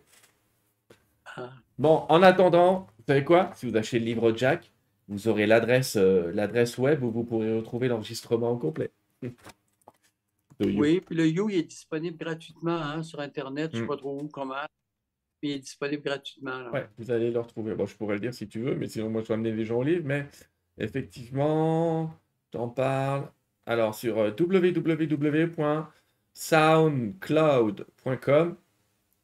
je ne sais pas s'il fonctionne encore celui-là. Ah, euh, Jacques-Martin. Allez voir, allez, voir à partir du site atma.ca.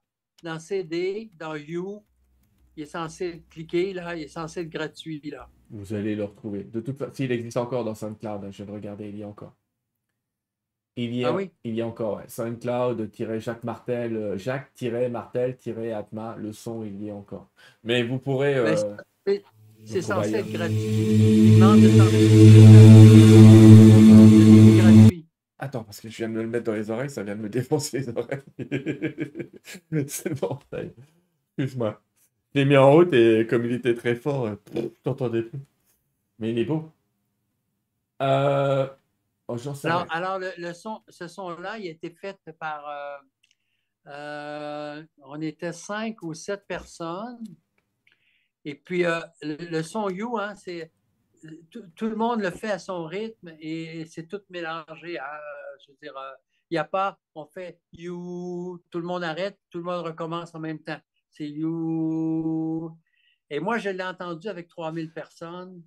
Tu es propulsé au niveau sidéral. D'un coup, à 3000 personnes. Et les gens qui étaient là, euh, des gens qui, connaissaient ce son-là depuis plusieurs années, il y avait la photo des maîtres et tout, et tout, et tout qui étaient là. Et euh, vraiment, là, c'est quelque chose de vraiment spécial. Ça crée des vibrations, hein. ça crée des vibrations énormes. Audrey, tu me demandes comment éviter de dire des choses négatives quand on est blessé, quand on vit des émotions. C'est le sujet du livre entier. Donc, je, ramène un peu au livre. Euh, ah, c'est bien, parce qu'il y en a qui voudraient du décollage biologique. Euh, c'est un autre livre, les amis. C'est un autre livre. Ah, Colette, elle est marrante ta question. Je suis assez d'accord. Quand on écoute des musiques, Jacques, les paroles ont une importance aussi. Alors, par exemple, imagine la chanson Je suis malade, complètement malade. Tu nous conseilles de ne pas l'écouter? Ben, je conseille. Regardez, les gens, ils font ce qu'ils veulent. Je n'ai pas conseillé, moi. Les gens, ils font ce qu'ils veulent. Non, mais un conseil général, un conseil général sur la musique. Non, mais il y, a, un parfum qui s'appelle Poison, là. Hein? les gens, ils font ce qu'ils veulent, là. Mais euh, je ne recommanderai jamais ce parfum-là, là. D'accord. On, sait l'impact que ça a par rapport à l'énergie qui est mise dans la bouteille. Là. Et donc, comment on, on l'a prouvé, on prouvé avec l'eau. Juste à mettre des étiquettes sur des bouteilles d'eau et euh, cristalliser, on, voit la forme euh, qui, sort de ça. Ben là, je suis malade, je suis malade. Mon cerveau enregistre, je suis malade. Qu'est-ce que tu veux? C'est pas une on a beau dire de façon, tant mieux, mais euh, tant mieux. Ah non, mais je, suis d'accord avec toi. Faites attention à ce que vous écoutez. Et j'allais presque dire, même si les paroles sont dans une langue étrangère, regardez ce qui est écrit dans notre langue étrangère parce que votre corps, il sait traduire tout, je vous promets. Oui, ben c'est sûr. C'est sûr. Au niveau du le corps, le subconscient, qui c'est tout ce qu'il a décrit. Hein? Il sait traduire aussi parce qu'on n'imagine pas, mais des fois on écoute une chanson en anglais qu'on aime bien et on traduit, on se fait peur. Hein. Euh, oh là Et on aurait 3000 questions. On va passer, on va passer 3000 jours avec toi. Non, attends, je vais, je vais passer un petit peu. Ah! Ah, c'est peut-être une autre question, mais on est un peu dans la psychothérapie, Jacques, avec Fatima, mais que faire pour se déprogrammer des paroles négatives des parents? Il y a des gens comme ça qui ont des phrases des parents en tête. Bon, ben, c'est embêtant de commencer à vouloir changer les gens qui nous entourent. Hein? Euh, mais, mais ce qui est important, si les phrases négatives euh, m'affectent, ben, je fais les bonhommes allumettes avec mes parents, puis je rajoute des paroles négatives, mm. qu'eux autres font des paroles négatives pour ne plus que ça m'affecte. Ça, je peux faire ça. Hein, par exemple, moi, avec mon papa, euh, avec le prénom, le nom de famille, avec toutes les paroles négatives qu'il dit là. Vois-tu là? pour que, pour que les paroles négatives de ce qu'il dit, ça ne m'affecte plus. Si tu, devais, si tu devais un jour écrire un, dictionnaire des malaises et maladies psychologiques, euh, est-ce qu'il y aurait une phrase du style euh, J'accepte l'identité de mes parents, ce qu'ils étaient, euh, quelque chose de genre là ou pas? Ben, Ce que tu viens de faire là, c'est un exercice, un autre exercice qui est dans le livre. Atma, le pouvoir de l'amour, c'est la boule de lumière que je fais passer à travers moi, là, OK? Et puis, je peux mettre mes parents dans la boule de lumière. Et dans, quand je prends mes parents ou un des parents, je mets l'énergie négative la plus forte que je peux, la plus intense que je peux, parce que la boule de lumière, elle va passer au travers du cœur et la transmutation, la transmutation va se faire. Tout ce qui est négatif va changer en positif. Donc, je vous renvoie à d'autres livres de Jacques, les amis, comme je l'ai fait tout à l'heure, parce qu'effectivement, tout ne peut pas être en un seul. Il y, a, une vidéo là-dessus euh, où on montre ben, Jacques Martel, boule de lumière dans YouTube. Euh, j'ai envie de, reparler un peu du mot, et Alexandra nous, propose, elle dit, je dis tout le temps merci pour la vie, pour les fleurs, c'est merveilleux. La force de ce merci, de cette gratitude aussi. Oui, ah, euh, dans, le, livre le, pouvoir des mots qui me libère, j'explique la technique du merci. et le dire le plus possible parce que justement, on développe un sentiment de gratitude. OK? Je dis merci, je dis merci, je dis merci. Et ce qui fait que dans mon champ énergétique, dans mon aura, je deviens avec une aura de plus en plus de gratitude. Fait que je vais attirer quoi dans ma vie? Il y a plus de chances que j'attire de la gratitude. Mm. Et, il y a une technique, euh, il y a une technique, la technique du merci que je dis, euh, oui, c'est là-dedans. J'explique les massothérapeutes. Alors, les puis il y, a, un, exemple qui est mentionné avec des commentaires du massothérapeute. Quand, je fais la technique, supposons que je parle, à chaque geste, supposons que c'est moi le, massothérapeute, à chaque geste que je fais, je le fais dans ma tête, merci, merci, merci, merci, merci, merci, merci. Là, je le fais, ça travaille beaucoup au niveau de mon chakra couronne quand je te dis ça. Mais juste par les gestes que je fais, merci, merci, merci. C'est extraordinaire les résultats. Et pour le, la personne qui reçoit le massage, et et, et, la personne aussi qui donne le massage, pour les deux, mm. en, disant merci. D'accord. Et, et, et, de dire merci, moi, je m'arrange toujours pour dire, euh, quand je vais au restaurant, par exemple, merci, mais je m'arrange pour le plus possible quand je le dis, de voir le serveur ou la serveuse dans les yeux. Et si je n'ai pas l'occasion parce qu'elle se tourne rapidement, j'imagine que je la regarde dans les yeux aussi. Et en prononçant son prénom, je demande toujours le prénom. Hein, des fois, des fois c'est écrit sur le, leur, hmm. vêtement, mais euh, des fois, ça ne l'est pas. Je leur demande c'est quoi votre prénom? Euh, il y a juste une fois, euh, je ne me souviens pas si c'était à Lyon, j'ai demandé à quelqu'un son prénom, puis ça l'a ça l'a euh, vraiment euh, euh, dérangé, dérangé parce qu'il y en a qui ne sont pas habitués. Hein? Je n'ai mm. pas assez proche de dire écoute, garçon, là, je ne t'ai pas demandé de coucher avec moi. Là. Mais en tout cas, je me suis calmé. Mais je parle toujours. Supposons, supposons, que le serveur, il s'appelle Luc. Là. Mm. Je dis un serveur, ça pourrait être une fille. Là. Ben, quand il vient me porter le menu, il m'apporte mon verre d'eau ou mon verre de, euh, de boissons gazeuses. Euh, merci, Luc. Mm. Euh, ben, revient, ben, merci, Luc. Oui, est-ce que vous avez besoin d'autre chose, monsieur? non, Luc, c'est correct, ça va. Toujours le prénom, le prénom, le prénom, le prénom, le prénom, avec merci. Prénom, merci. C'est plus courant au Québec et c'est vachement plus sympa, hein, c'est vrai. Ça fait, ça fait toute une différence. Mm. Ça fait que les gens sont appréciés davantage, tout ça. Alors, si dans mon attitude, j'ai une attitude d'apprécier les gens, de leur montrer ma gratitude, ben, il y a des chances que la vie me le retourne aussi. C'est ça aussi. Il y a un intérêt quelque part. Ouais. c'est intéressé. Mm. En faisant ça, je m'attire ça aussi. Les deux. Mais tu sais, Randa Byrne, qui avait écrit le livre qui s'appelle Le Secret, et le film Le Secret, elle a écrit un autre livre sur la gratitude parce que ça avait été un petit peu oublié dans la loi d'attraction, mais la gratitude est d'une puissance supérieure à la loi d'attraction. Parce qu'en fait, quand on est gratifiant, on remercie pour ce qu'on a déjà. On n'est pas en train d'attirer quelque chose. On, l'a déjà, puisqu'on dit merci. Donc si on disait merci la vie, merci pour la santé, euh, chaque jour, ça amplifierait des choses. Christelle, elle dit, pour les phrases en négatif, euh, je croyais que le cerveau et l'univers n'entendaient pas la négation. Le corps, oui. Le corps l'entend. Ben, le, le, subconscient est un ordinateur. C'est un ordinateur. Il enregistre, c'est un ordinateur, c'est tout. Le corps entend. Il y en a plusieurs, tu vois, qui me font la réflexion, qui disent euh, Ça doit être bizarre de parler à Jacques, j'aimerais pas qu'il me reprenne toutes les cinq minutes. ben là, ça dépend des gens. Quand les gens me rencontrent, soit qu'ils sont en cheminement ou ils veulent avancer, alors euh, je vais les reprendre souvent, ou s'ils ne veulent pas, ben moi, je ne dis rien. Hein? Hmm. Non, mais je ne dis rien. Hein? Je fais mon Colombo. Hein? Ouais, mon petit Colombo, c'est le, détective là, dans la série policière. On l'a bien. On l'a bien. Ma femme, euh, souvent, me dit ça. oui, oui. Euh, écoute, y a... on a répondu, je pense, parce qu'il y a beaucoup de questions qui se rejoignent un petit peu. Et euh, moi, je me dis, tu nous ah, as fait tellement la quintessence. Il y, a une, vidéo aussi, hein? Jacques Martel, le pouvoir des mots. On fait Jacques Martel, le pouvoir des mots dans la, la, la, la, fenêtre de recherche. Ouais. YouTube.